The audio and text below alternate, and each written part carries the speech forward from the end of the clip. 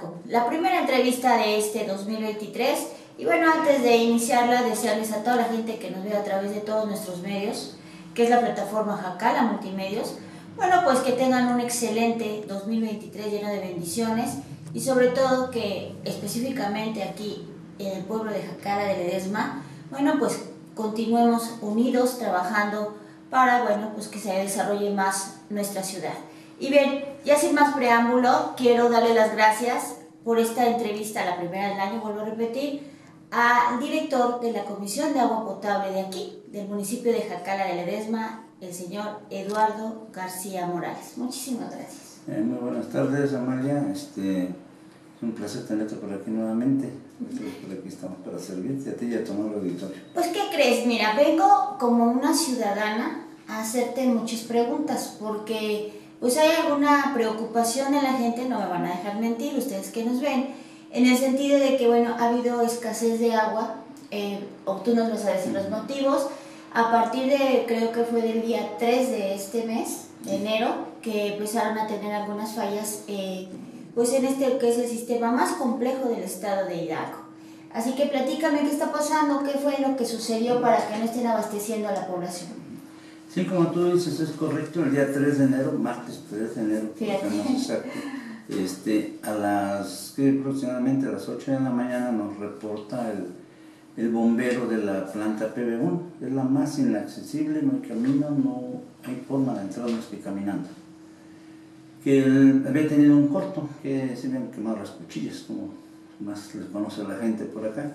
Se trasladó el personal del organismo, este, el jefe de distribución con el jefe de hidráulica y personal de capaz, que trasladaron a la PB1 y se encontraron dos cuchillas quemadas. Los cambiaron y todo, y, este, y al momento de hacer una inspección visual, pues notaron daños en, el motor. ¿En el motor? En el motor estaba quemado prácticamente, ¿verdad? porque tenía, eh, estaba ahumado y pedazos de, de, de cobre. Entonces, este, eh, nos pasaron el reporte y se les dio instrucciones que no, no lo prendieron porque ya, este, para no causar un accidente mayor. Eh, pedimos, hablamos a los técnicos especialistas que son los que se encargan por las cuestiones de trabajo, la carga de trabajo que ellos tienen, este, pues no es fácil de que vengan rápido. Entonces nos programaron la cita para el viernes 6 de enero. Ese día bajamos, este, tuve la, eh, pues acompañar al personal. De hecho la idea, sabíamos que el motor estaba dañado, ya teníamos un, un remolque que diseñamos para ingresar este, motores porque no tenemos camino. No hay forma de hacer un camino ahorita. Este, sí, el técnico diagnosticó que el motor definitivamente pues, era inoperable. Teníamos ya un motor aquí que se había mandado a reparar. Este, sacamos el remolque el mismo viernes Uh Salimos ya noche, noche, completamente. Son, ¿qué te diré? Está muy lejos, complicado. Ahorita vamos a hablar de eso. Este, de allí, este, el otro día en la mañana temprano, con apoyo de servicios generales, por ahí nos, apoyó gente y gente de, externos de Tupilla, de La Palma, algunos de, de Carrizal, nos acompañaron el día sábado a ingresar al motor ingresamos al motor, este, pues sí fue difícil, 800 kilos, irlo escalando todo. Este, se instaló el motor, se hizo todo, se hizo las pruebas. A las 6 de la, 5 de la tarde arrancó el motor, estuvo trabajando, salimos y al domingo a las 2 de la mañana empezó a tener una fuga de agua, una fuga considerable de agua. Eh, inmediatamente el bombero pues paró el motor. Paró. Porque al subir el agua al motor, lo vuelve a quemar. Lo quema. ¿Y dónde vamos a conseguir otro motor? Claro. Entonces, este, se paró el, el día domingo. El día de ayer, lunes, nuevamente se volvió a bajar con el personal, bajamos otra vez, eh, se achicó y todo, y ya se dieron cuenta que y había una falla interna más abajo. Se cambió la bomba por completo. Toda la bomba, que tenemos una bomba en existencia en la bodega, este, se cambió y se llevó el día de ayer. Ayer se llevó este, igual con ya menos personas, porque los que son de las comunidades de aquella zona pues saben lo complejo y lo difícil y lo arriesgado que es meterse para allá. Este, ya fueron pocas personas y este, se fueron el día de ayer, se hizo todo el cambio, pero este, hubo un detalle de que la barra a donde llega el motor, este, esa debe de estar completamente recta. Debe de tener este, precisión. Unas dos milésimas nada más de variación, milésimas, prácticamente nada. Tiene una vibración y ¿qué pasaba si lo operamos así? Podemos dañar todo. Hoy bajaron nuevamente otra vez. Bajaron nuevamente ya, con estas son cuatro bajadas. Este, y ahorita estamos en espera ahorita que nos confirmen que ya están haciendo sus pruebas y este, que ya empecemos a bombear. Esperamos que así sea. Esperamos que sí, estamos en espera que nos confirmen. Vamos a deshilar todo lo complejo que es la comisión de agua potable, porque a lo mejor usted dirá, no, pues es sencillo que cambien el motor. Eh, vamos a, ir poco a poco. Primero, la distancia que hay para llegar a, donde está este problema o estuvo este problema, pues no es tan, tan fácil. ¿Cuántos kilómetros? Ya no digas de aquí hacia allá. ¿Cuántos kilómetros tienen que caminar para llegar al lugar? De la PB3, bajar por el cerro son 3 kilómetros y medio aproximadamente. En una zona pues, casi nos barranca. Está muy resbaloso, la tierra suelta te resbalas y, y vas a caer más lejos. Bueno, y con riesgos porque también pues hay animalitos que no les gusta que, que, se les moleste y han estado trabajando hasta muy tarde. Te lo digo porque me consta, eh, se los comento a ustedes, estuve por ahí este, pues cerca de donde ustedes iban a comer porque fui a comprar y vi que iban llegando toda la cuadrilla muy noche. Sí los vi que apenas iban a tomar alimentos ya muy tarde. Este, pues es muy riesgoso también. Sí, eh, de hecho, ahorita estamos entrando por lo que es La Palma, La Palma, ahí donde la entrada al río, ahí son aproximadamente casi 5 kilómetros. Sí, Tenemos que caminar por, por la ribera del río y hay que pasar 12 vados. 12 vados los que hay que pasar. Este, salir de noche, eh, ya ahorita a las seis y media prácticamente ya está oscuro. Y allá como son dos cerros, está en medio de dos cerros y parte hay que pasar en árboles, se oscurece rápido. Bien, eh, quiero comentarles porque en plática previa eh, supimos que tuvieron ayer un pequeño accidente con una de las personas que fueron a arreglar esto. Platícanos. Sí, tenemos un compañero que este, tuvo un, accidente por ahí, se, ya tarde, noche, pues se cayó ahí de un lado del puente ya para bajar. Como ya estaba oscuro, a la hora que brincó, pues este, se lastimó, se lastimó el, tobillo. Este, sí lo sacaron cargando. Regularmente caminando así normal, que hace unos dos horas caminando. Bueno, pues en mi caso yo me hago dos horas y cuarto. Uh pasó, pues lento, ¿verdad? Los que están más jóvenes pues se avientan una hora y media, una hora cuarenta, pero están ágiles. Este, dice, cuatro horas, Amalia, para poder sacar a ese compañero. Sí, sí. En la noche, en la ¿A qué llegaron? Llegaron aquí con él aproximadamente a las diez y media de la noche. Muy tarde. Sí. Pero ya está bien, ya, está, ya, lo, ya lo checaron, ya lo están, ya lo revisaron los médicos, está en buenas condiciones. Exactamente, ya se llevó a la mañana a la OBS, le tomaron algunas placas, radiografías, ya medicamentos, y les compraron este, una pélula especial para, para su pie. Y este, pues, algunos de los varios que hemos salido golpeados, inclusive yo también ando, ando mal, porque sí, es muy difícil. son Ya son muchas vueltas para allá, ¿no? Y no puede quedar. Pero bueno, se espera que ya en las próximas horas ya se tenga la solución al problema. Ahorita ya nomás estamos en espera, ahorita que nos confirmen los compañeros. Los compañeros ya ven que están haciendo algunas pruebas, y todo esté bien, ya empezamos a trabajar normal. Para nosotros es muy complicado eh, que esté en esa parte, pero pues aquí estamos, eh, estamos en la, el compromiso de todos los trabajadores a la hora que sea, el día que sea, no importa el clima, eh, tengo un gran equipo de trabajo que siempre está dispuesto a dar lo mejor de sí para los usuarios. Claro. Hablamos desde el inicio del programa que uno de los sistemas más complejos eh, con respecto al agua, pues es el de Jacala.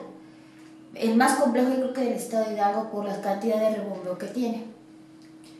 Yo me enteré por ahí, porque pues, finalmente es nuestro trabajo, que hubo una aportación directa hace años, hace poco tiempo, eh, cuando fue gobernador el licenciado Omar Fayad, de alrededor de 50 millones de pesos para, bueno, pues para este complejo sistema de agua que se iba a aplicar para el mejoramiento de, pues de esto, ¿no? ¿Qué está pasando? O sea, se supone que fue esa asignación. ¿Por qué está fallando tanto los motores? ¿Por qué siguen los problemas? Y no se le da solución real a una situación que debiera haber tenido con, esa, con esa cantidad de dinero. Sí, es correcto, María. Eh, por ahí no tengo la fecha precisa, pero sí cuando se inició el proceso de entrega-recepción, este, sí había pues una obra de inversión de prácticamente 49 millones y fracción. Casi 50. Y este, de tocó mi antecesor este, estar en, esos, en esa construcción de la obra y estar checando. Y, y sí, en la entrega-recepción que hubo, pues sí, este, él me hizo algunos, este, me dejó algunos datos y todo, y están checados y, los tiene la auditoría.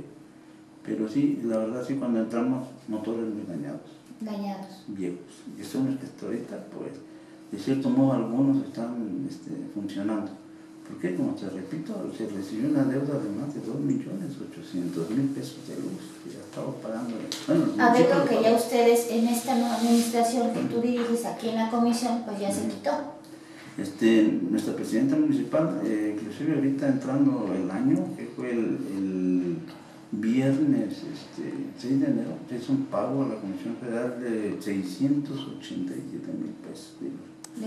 Ahorita vamos al corriente en los pagos no se debe, ahorita a lo mejor mañana me llega el recibo de la luz, lo que es de corriente, y este, pero va a corriente. La presidencia municipal es la que hace eh, todo el pago de la energía eléctrica. Bien, este sistema tan complejo implica pues mucho gasto para que esté como moviendo todo de manera muy precisa. Por eso es importante que también la gente pues pague su agua, porque entiendo que ustedes deben tener otros motores de reemplazo y tienen que hacer todo esto, esta, resolver esta problemática. Platícame cómo lo están haciendo. Nosotros, eh, de todo el pago, eh, en este caso el pago oportuno que dan los usuarios, este, todo eso lo maneja el organismo capaz. La presidencia municipal se encarga de cubrir todo el gasto de luz, de todo el bombeo. Estamos bombeando pues muchas horas de bombeo, de lunes a sábado y este, presidencia municipal paga toda la energía eléctrica. El organismo operador paga empleados, paga gasolina, para combustible, eh, reparaciones de camionetas, reparaciones de menores y mayores y mantenimiento. Eh, tenemos alguna una bodega que pues sí tenemos también algo considerable de inventario. Qué bueno. Este, lo mismo motores, bombas que lo vamos arreglando porque no somos muy previsores. Tratamos de tener lo más básico para el caso de que falle, tratar de pues, dar la solución lo más inmediata que podemos. Hasta ahorita, si hacemos cuenta de esta falla, empezamos el día 3, estamos el martes 10, prácticamente tenemos apenas 8 días con esta falla.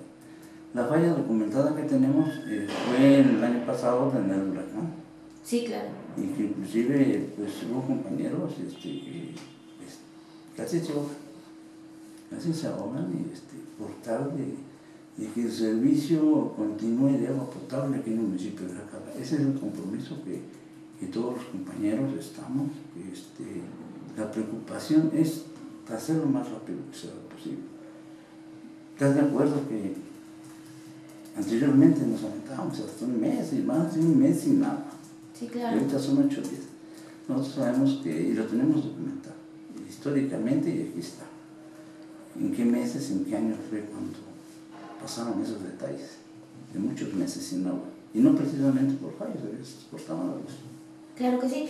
Eh, platícanos un poquito, porque a veces uno desconoce eh, la información como debe de ser. Esos motores no son baratos. No. Platícanos más o menos un motor, ¿cuánto cuesta? Un motor nuevo, ahorita hemos cotizado, son en 480 mil pesos. Un motor. Motor. ¿Cuántos motores tienen las Cada planta de bombeo debe de tener dos. dos? Dos. Este, cada planta de bombeo debe tener dos, son 480 mil. El problema no es, a lo mejor puedes tener el dinero, pero son motores especiales diseñados para cierta carga dinámica de todo lo que tiene que subir el agua. Recordemos que tenemos una tubería de 10 pulgadas y este y el tiempo de entrega de los motores es de 12 a 18 semanas. O sea, no es ir a la tienda y me lo traigo. Lo tengo que mandar a hacer sobre pedido. Y son de 12 a 18 semanas. Estamos hablando de prácticamente tres meses como mínimo. Pues la verdad, yo la verdad, sinceramente no conocía lo difícil y costoso que es un motor. Porque bien lo dices, o sea, no nada más es comprarlo, sino que no están a la mano, así voy a la tienda y lo compro. Ese, ese es el problema. Y si ustedes no tuviesen uno de reemplazo, pues cuánto tiempo, ahora sí, serían dos, tres semanas o hasta más en lo que llega el nuevo motor. Entonces tienen que prever. Exactamente. El pago oportuno que toda, hace toda la gente, este, de ahí este organismo se mantiene. Claro. Este, este organismo no tiene un recurso de gobierno del Estado. Es bueno decirlo eso. No tiene un recurso de gobierno del Estado. Ningún organismo operador del Estado Tiene. tiene un recurso asignado.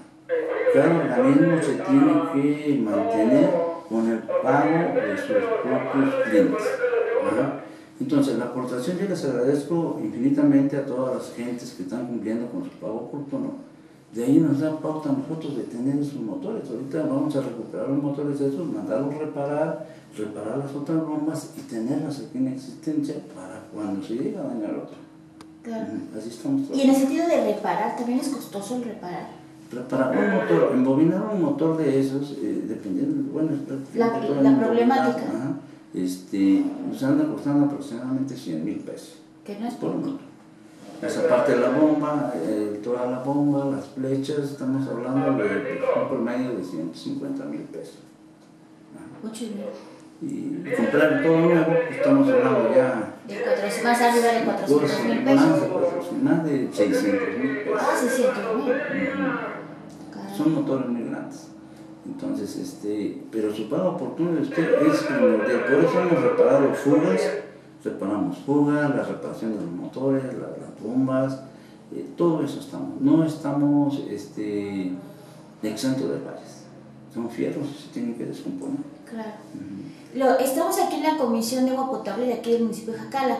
Ustedes están escuchando eh, pues otros sonidos están dentro de esta entrevista porque bueno pues es el radio donde toda la gente pues se comunica que trabaja dentro de la comisión y precisamente los jóvenes o el equipo de la comisión está trabajando pues donde está la problemática de la bomba que pues no ha permitido este, desde el día 3 de este mes pues que haya eh, pues el vital líquido eh, pues para toda la gente, ¿no? Para la población en general.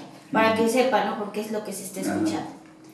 Eh, director, dígame usted, la gran cantidad de agua que emana de, pues, este manantial tan importante, ¿es suficiente para la población del municipio de Jacala, para, para abastecer a toda la población? Porque ya no nada más es la cabecera, sabemos que van en algunas Ajá. comunidades y quiero pensar que a lo mejor pretenden ustedes que llegue a más gente. Platíquenos un Ajá. poquito. Mira, anteriormente cuando se inició el sistema, yo recuerdo que este, y varios recuerdan que en la CCR estaba el señor este, este Javier, Oscar Javier Martínez Austin, este, estaba de director cuando se inició el sistema. Cuando se inició el sistema, sí. Yo recuerdo que esa CCR se tiraba al agua, con motores de 100 caballos. Ahora en la actualidad no, pero ya, ya hablando con el ingeniero Javier, y yo soy de preguntar, de asesorar. Claro. Ajá. Y preguntando con él, pues, en aquel, lo- los tazones, que son los impulsores, este, este, los impulsores son los que avientan la cantidad de agua. Eh, esas bombas de 100 caballos este, tenían 12, 14 impulsores. Ahorita tienen pues, 7. Son motores de, de 7 impulsores, son de muy altas revoluciones, 3600 revoluciones, y, los otros motores que tienen muchos impulsores son a 1600. Tienen sus ventajas y desventajas ambos. Pero ahorita el agua que se extrae, que nosotros nos dejamos son 25 litros. Cuando anteriormente se sacaban 30 litros, 32 litros por segundo. Acá ha crecido, las comunidades han crecido. Y seguirán este, creciendo. Y seguirán creciendo, exactamente. Este, para eso, pues ya están proyectos ya capaz en coordinación con, con obras públicas de aquí de municipales para hacer ya un proyecto de incremento en el bombeo. Ya estamos casi afinando detalles, es incrementar el bombeo nuevo, lo que es PB1, PB2 y PB3, incrementarlo de 35 a 40 litros, con la misma capacidad, 150 caballos.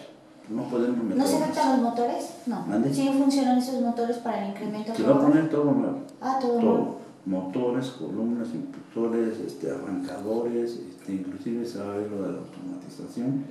Este, para poder sacar un certificado, un certificado que se llama UBIE, nos pide Comisión Federal, para meter una tarifa horaria y, tener un poco más barata la energía eléctrica. Ah, perfecto. Pues qué interesante que van a incrementar esta capacidad porque es importante que la gente lo sepa porque luego tienen pues pendiente de que ya no se puede abastecer como debe de ser. Eh, platícame un poquito, en redes sociales pues por esta problemática que ya sabemos, ¿no? Que ha escaseado el agua desde el día 3, vuelvo a repetir la fecha, a hoy que es día 10, pues que sí va a haber un condonamiento por la cantidad de agua que no se ha dado. eso es lo que preguntan en redes sociales. Mira, en condonar como tal no se puede. Claro. ¿Por qué? Recuerden que nosotros nos rigen unas cuotas y tarifas. Esas cuotas y tarifas están aprobadas por el Congreso del Estado en las tarifas marca un rango de consumo de 0 metros a 10 metros. Y ahorita el, precio del año pasado, ahorita porque estamos cobrando el mes de diciembre, es de 143.65. De 0 a 10 metros. Si no ocupan nada de agua, la casa está cerrada, vas a pagar 143.95. Y si ocupas 9 metros, vas a pagar 143.95. Si ocupas 5 metros, vas a pagar 143.95. Inclusive aquellos usuarios que, como tenemos servicio medido, vienen y adultos mayores, porque son los, que hemos tenido más afluencia, de que vienen a preguntar, tienen esa inquietud, de que consumen 5 metros, pero el recibo del medidor está dentro el que pasó a tomar lectura no puede ingresar por el perro, estaba cerrado. Entonces el sistema le pone cero. Oh. Ajá. ¿Y qué pasa ahí? Entonces, pero gastó 5 metros. Para el otro mes este, van a tomar otra vez lecturas y no vuelven a encontrar al señor, está cerrada la casa. Volvió a gastar 8 metros. Entonces, 8 y 5 ya son 3. Al tercer mes pasan y gastó 8 metros. Pero como ahora sí estuvo el señor o la señora y toman la lectura, 13 más 8 ya son 21. Entonces ya tienen que pagar excedentes.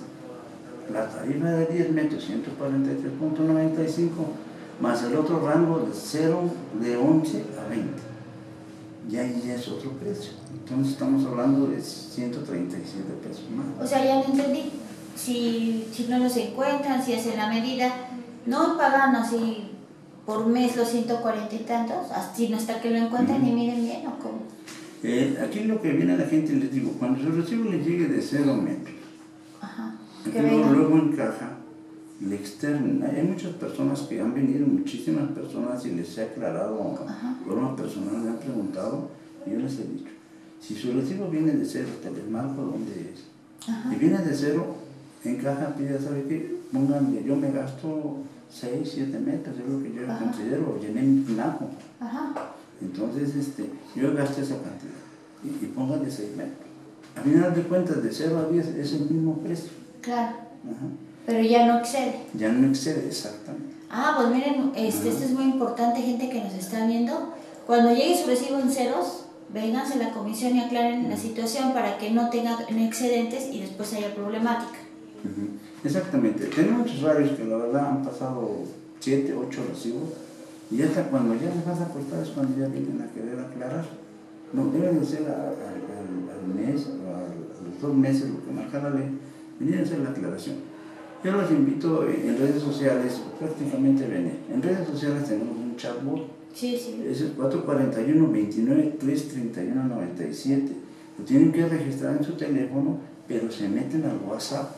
Ajá. Al WhatsApp. Y ahí eh, un asistente virtual los va a atender y de ahí ya los canaliza al área correspondiente. Al área correspondiente.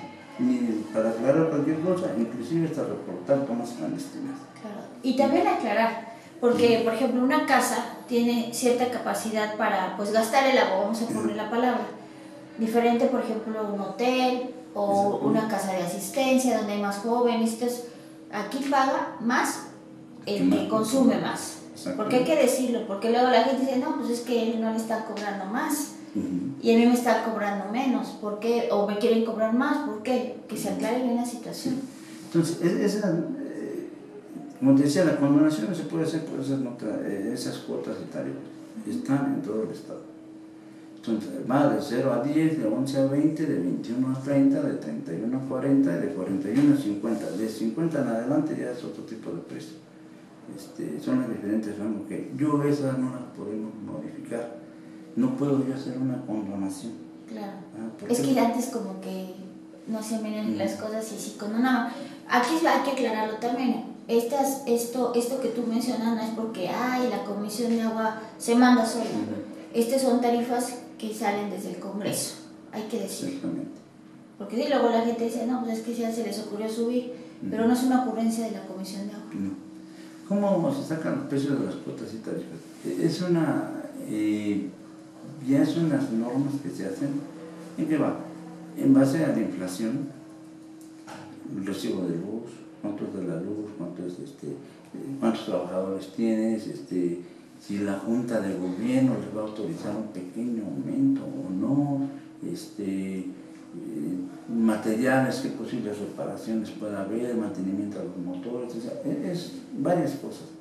Entonces, en este año que pasó, pues la inflación estaba en el 8.5%. El Congreso del Estado les aprobó el 4%.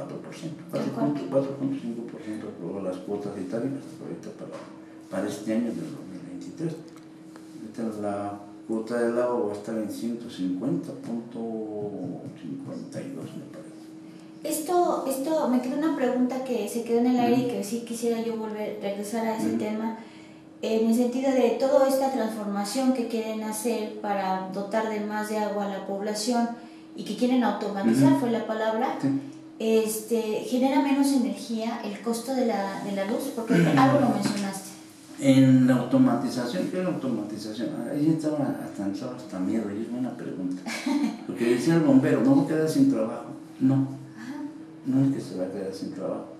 La automatización es de que cuando el sistema detecta que hay una variación de voltaje, el sistema apaga inmediatamente.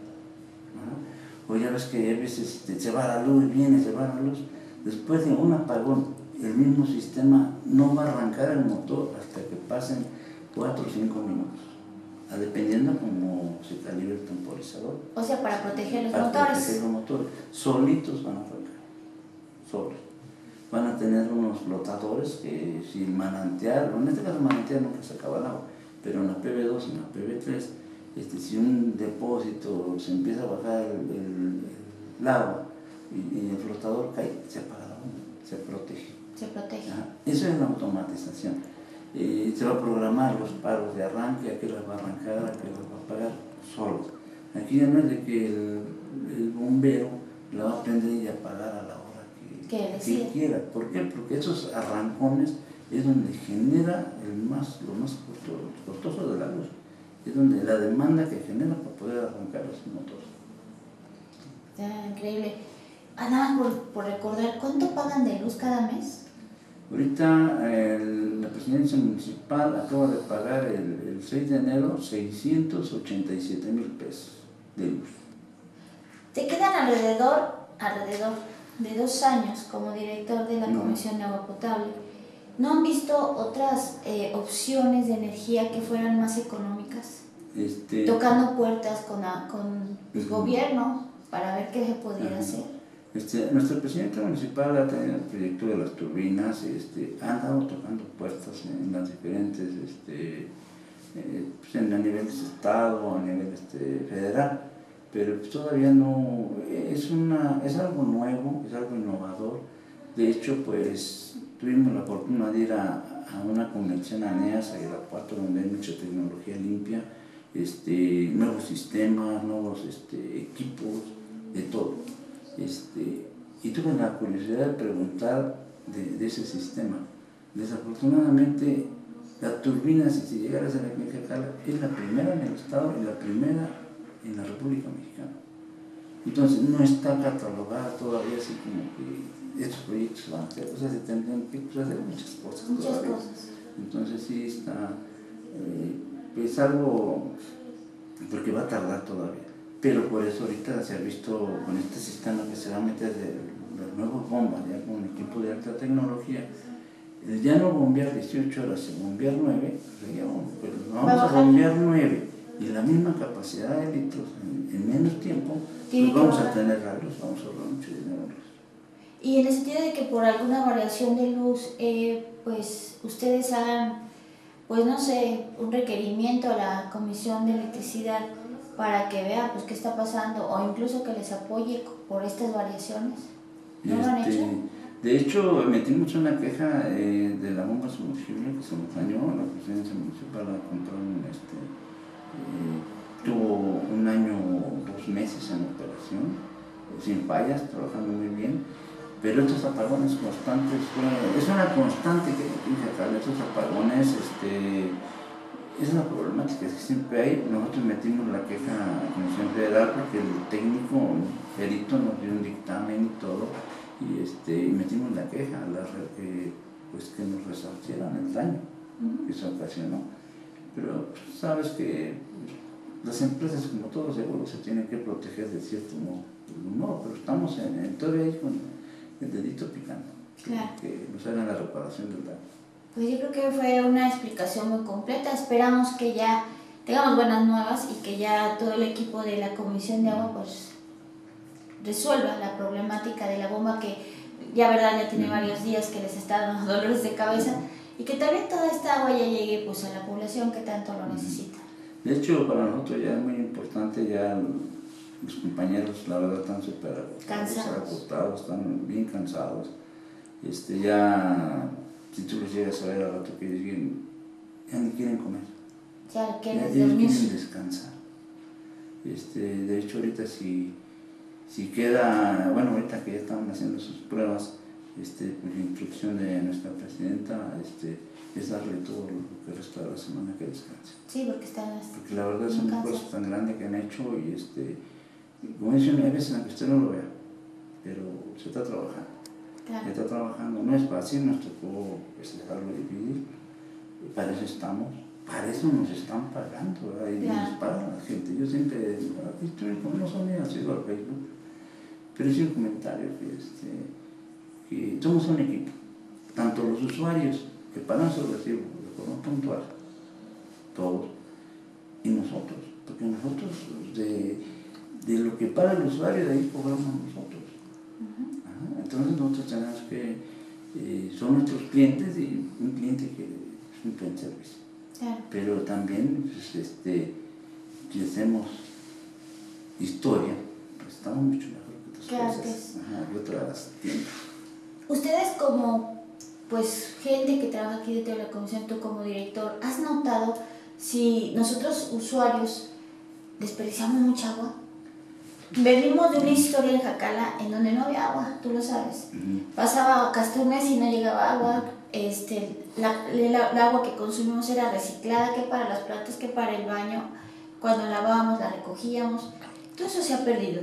Sí, este, tenemos un departamento de cultura del agua, este, están con la Universidad La Salle, ahorita hicieron eh, el mes de, de diciembre, antes de salir de vacaciones, estuvieron aquí en el Pensador Mexicano en unas, este, unas pláticas ahí de cultura del agua y algo de ciencia, eh, con experimentos. Y este, en cargo del licenciado Ximena Trejo, es el encargado, el encargado de esa área. Este, sí, ha habido mucha denuncia de parte de las personas de que inclusive los vemos se está tirando el agua a las azoteas.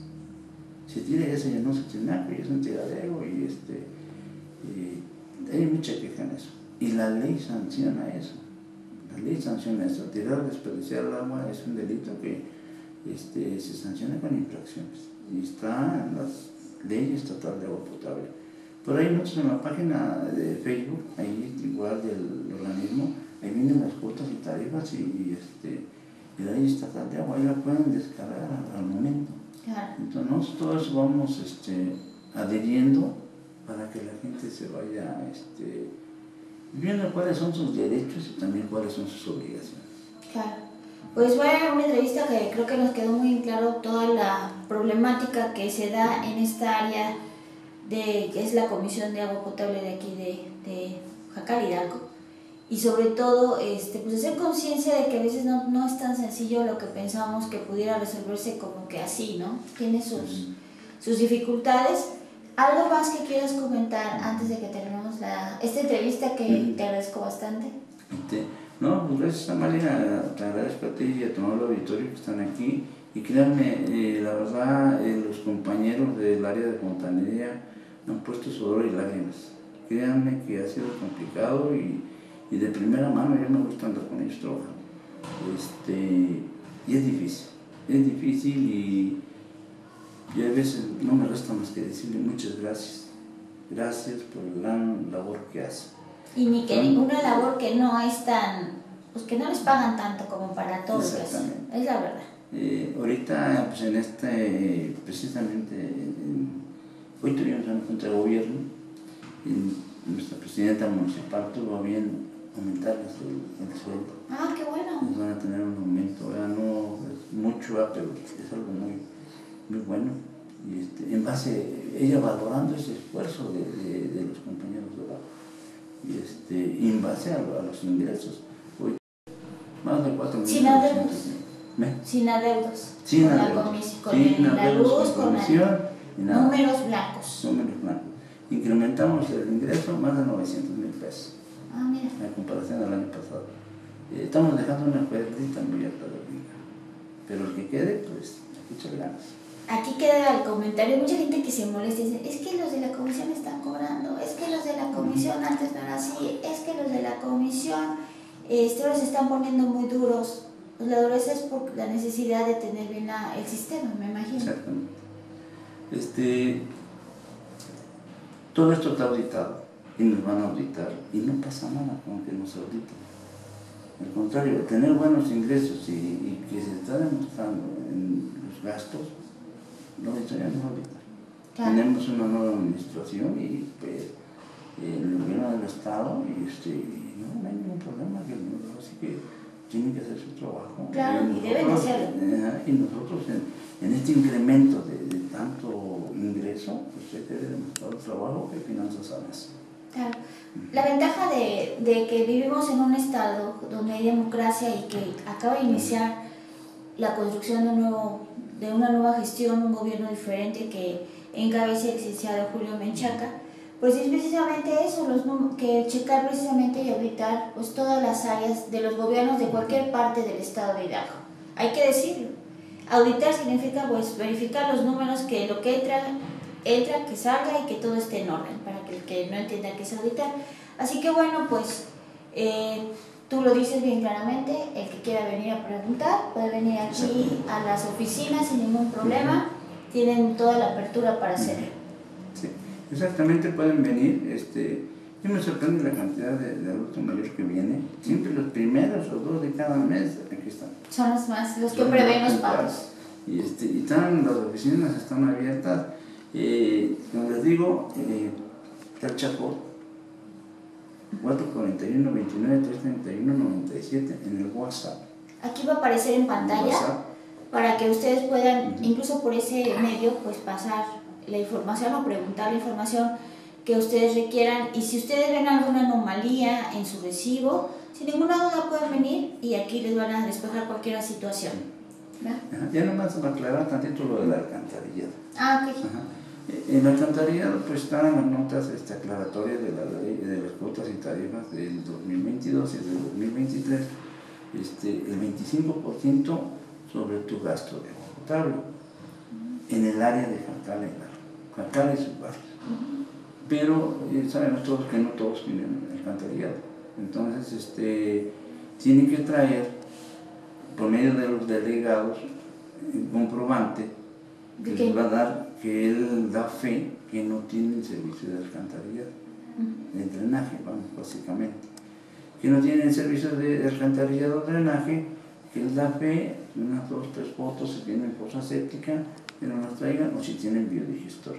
Y aquí el Departamento de Operación y Mantenimiento le dará el seguimiento rápido, va, verifica, certifica que no lo tienen, se hace el descuento, eh, se elimina esa parte y toda esa documentación se anexa en el expediente personal. Claro.